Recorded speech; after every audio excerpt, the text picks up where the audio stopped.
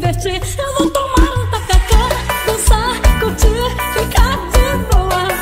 Eu vou lá no mangão das festas, vou no porte do presépio e depois do ponte do saia. Eu quero me divertir. Eu vou tomar